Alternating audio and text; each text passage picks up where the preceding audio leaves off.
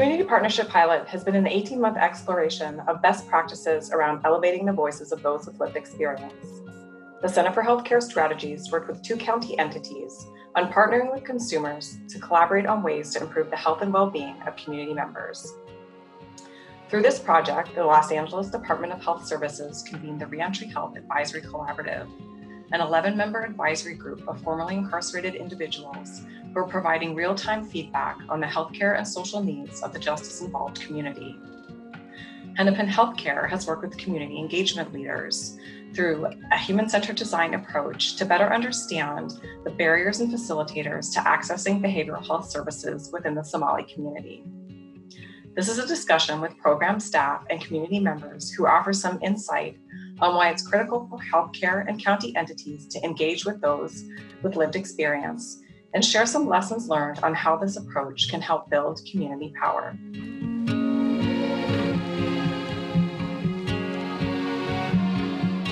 When you have the people with lived experience, there's also that trust between people.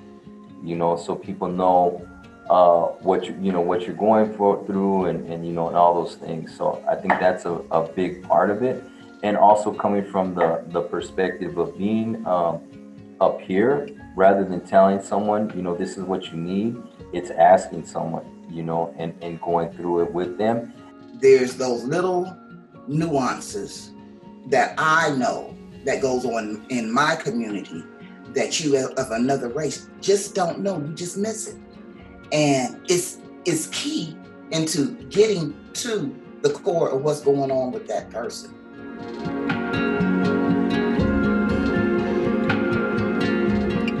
Diane, Diamond, and my, Myra, um, they since the beginning, I feel like they've always validated us. Like not myself, but I feel like they've always validated us, and they've always tried to uplift us. So even when like I felt unsure, you know, they reassured me that, you know, I'm here for a reason and my opinion is just as good as like some top level county official, you know, because I me and the rest of the RHAC, we bring in that a different perspective.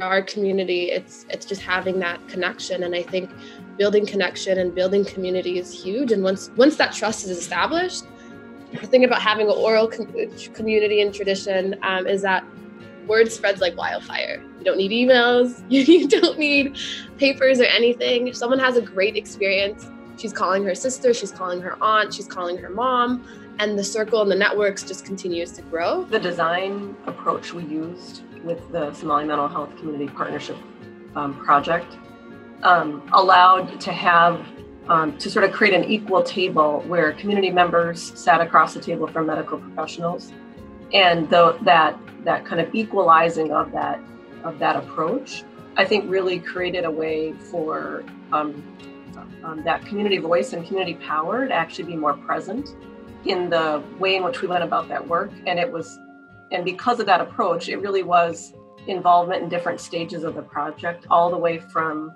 exploration of the problem and opportunity, all the way to really testing and, and creating something we could try to make a difference. Took away the the hierarchy or the power that comes with titles, particularly in a medical context. So people that were there, whether they were a position of influence or a, a, physician, um, that was un, unknown. They were there as an individual and by a first name and really connecting with people on a human human basis. And I think that that was part of why that approach that we did was successful because it removed some of the power differential and gave people the chance to talk person to person for sharing and vulnerability. I think the community engagement leaders certainly experience that empowerment to develop new skills, to be able to apply them, to and that builds capacity within a community right there. I think inviting the broader group leads to more as if those decisions are shared then there's more um, sense of shared power in that that it's not the process of providing your input and then someone goes off and makes a decision i think the way those were run there was a sense that community was involved very much in determining what was coming next.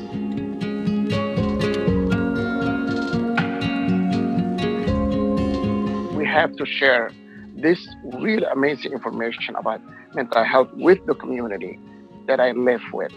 So I in they and they decided for me a flyer that I put all over the apartment, the elevator, the um, communal room, and it generated it generated really a buzz about what is mental health.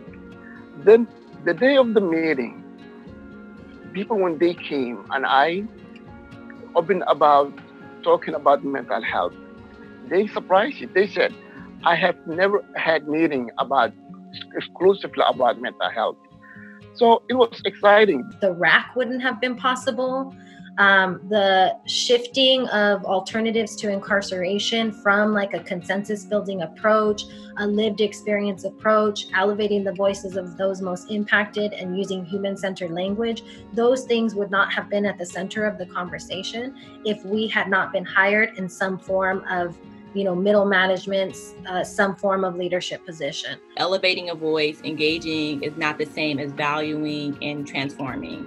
Um, and so you know just because folks are at the table that is a great first step. And the the I, the prize that we're seeking is real collaboration integration um, and power honestly for folks you know who have been impacted to to change things